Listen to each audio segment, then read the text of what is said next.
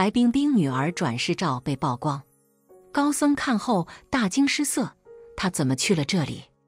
这一切或许和白冰冰的经历有关。白冰冰曾和日本漫画家有一段婚姻，在白冰冰孕期的时候，发现老公出轨，只能选择离婚，独自生下并且抚养女儿白小燕。然而就在白小燕读高二时，女儿被威胁了。当时白冰冰就报了案，警方打算在付赎款时抓捕歹徒时，狡猾的歹徒一直都没有现身。被多次爽约的白冰冰都要崩溃了。当时除了警方以外，媒体也一直都在跟进此案。媒体如此举动对于歹徒来说就是打草惊蛇。在白冰冰最后一次前去交易的时候，得知女儿去世的消息，白冰冰很是难过。这么多年过去，她只能独自怀念着女儿。白冰冰在出席活动时，自曝自己常有出家修行的想法。引发网友议论。从现场画面可以看到，当天她身穿一袭雪纺印花长衫，头戴黄色大花朵，脖子上佩戴着层层项链，整个人看起来雍容华贵，状态十分不错。不过，这也是身在镜头前的表象。在现场，白冰冰自诉女儿去世后的心路历程，她心酸表示。孩子离开后，父母也相继去世，在孤单度过的二十五年日子里，每天都是以泪洗面，哭到眼睛干涩，泪水已流不出来。他还曾通过社交平台发布一则动态，称天还未亮就起来望着女儿的牌位，独自伤感，叹息女儿已久未入梦，希望她能在某个地方生活安好。在这份独白的下面。白冰冰还配上一张与女儿的合影，照片中的白冰冰皮肤白皙、青春靓丽，女儿同样笑容灿烂，母女俩同框十分快乐。只可惜如今已天人永隔，白冰冰也只能久久思念这份母女之情。亲人离世，只留下她一人独居，内心常常觉得落寞。大概正因如此，才有了修行的想法。直到最近几年才稍微好些，除了思念女儿，更多的时间也在思考未来。白冰冰告诉粉丝，不必大费周章为自己庆生，并自曝想通过做善事的方式来庆祝生日，还呼吁现场的粉丝们也多做善事。在活动最后，他也透露自己想要出家修行的想法，令人倍感唏嘘。在俗世中，亲情、友情。爱情时时刻刻都萦绕着我们，我们是伴侣、儿女，亦是人的父母，在不同的身份中转换，但是归根结底都逃不过一个“缘”字。佛家说：“缘起则聚，缘灭则散。”身在红尘中的人，没有一个不为缘所左右。我们常说的爱情，就是一种缘分。人一生要认识八万多人，但是能够走进彼此内心的。不过寥寥数人，最后能陪伴一生的仅有一位。曾经的人随缘而来，缘尽而走，成为了生命中的过客，留存一点回忆。缘分不散的，才结成了夫妻，组成了家庭。难怪佛说，爱情、夫妻、儿女的缘分的真相，都逃不过这四种关系：讨债、还债、报恩、报怨。其实不光亲密关系如此，所有人与人之间的缘分皆如此。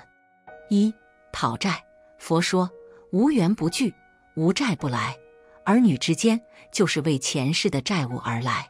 白冰冰的女儿白小燕花了母亲多年的心血，却早早离世，属于来讨债的孩子。但是佛经中也有说到，早去的孩子。往往是菩萨的化身，早早回归到天上，做了天人。蒲松龄在《聊斋》中曾说了这样一个故事：关中的一位县官叫何炅清，有位漫游的人犯了事，本来罪过不大，但是因为公堂之上冲撞了何炅清，一怒之下，他将其判了重罪。多年之后，何炅清已然是位大官，便在家中为自己建起一座高楼。高楼建完，摆宴庆祝，喝到醉意上心头之时，何炅清却见到了当年的卖油人走进自己的院子，心下骇然。不久，卖油人不见了，却听见家中下人来报，夫人生了一个儿子，大家纷纷恭喜。何炅清却说道：“这哪是儿子，这是来拆楼的人。”大家莫名其妙，皆以为何炅清胡言。等到几十年后，何家儿子长大才明白，原来何家儿子顽劣不堪，将何炅清留下的家产败了个干净，沦落到给人帮佣才能过活。只要手里有几文钱，就一定会去买香油来吃。何家的这个儿子就是来讨债的卖油人，欠了卖油人债，所以今生就来何家讨债。对前来讨债的人，佛家早就指明了：儿女生在父母家，吃父母的，穿父母的，用父母的。过了几年去世了，这就是父母在过去欠了他的债，所以他来讨债。老话常说“父债子偿”，其实有些子债也在等父还，子女等父母还完了债，便会离去。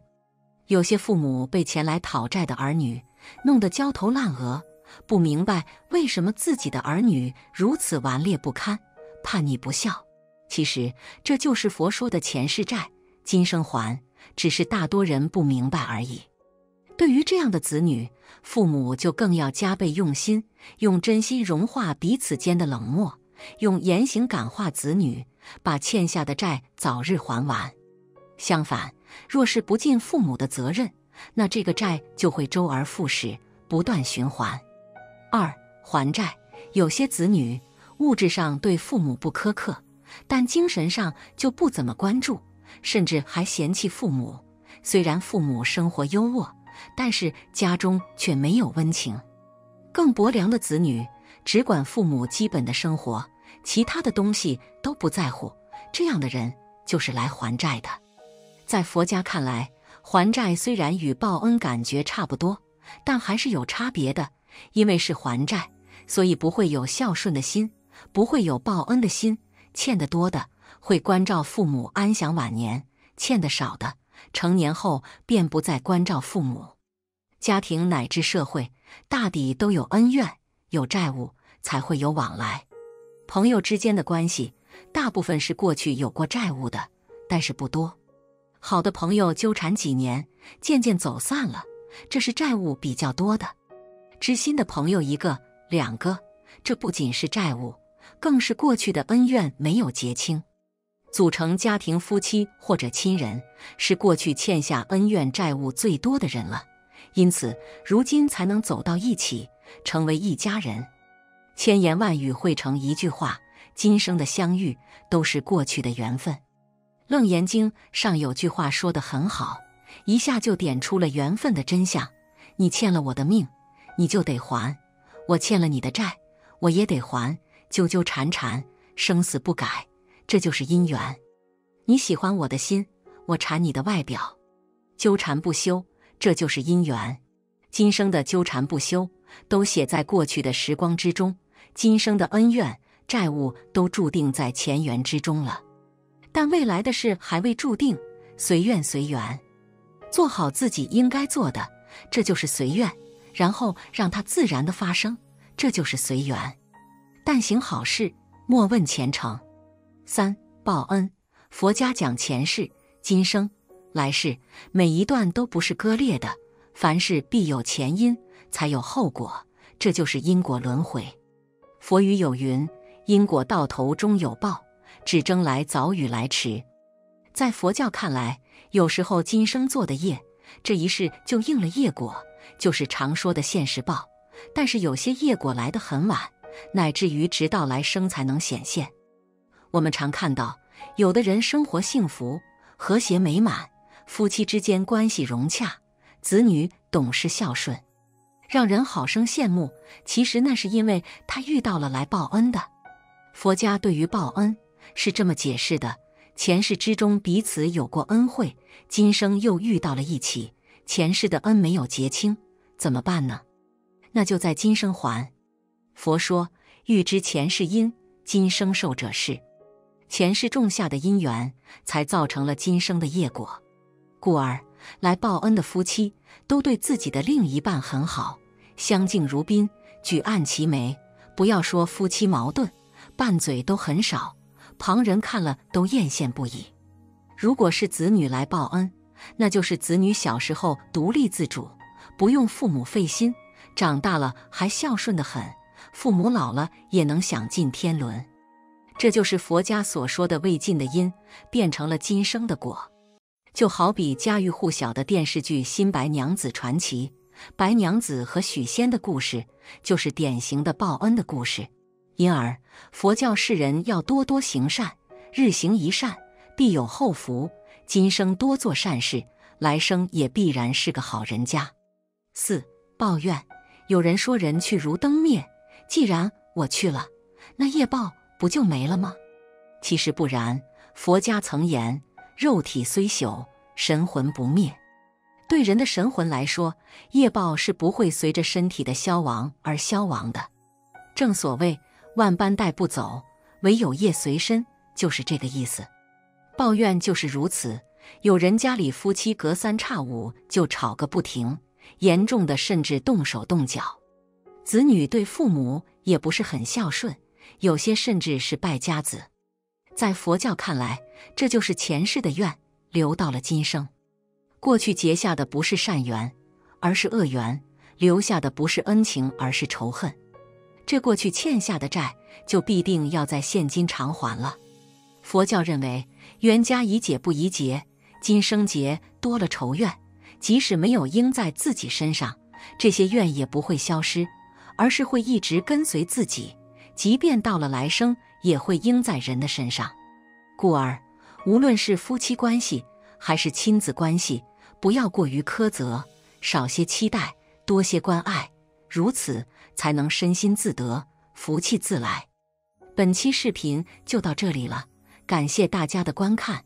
如果您喜欢这个视频，记得点击订阅并分享给您的朋友。我们下期再见。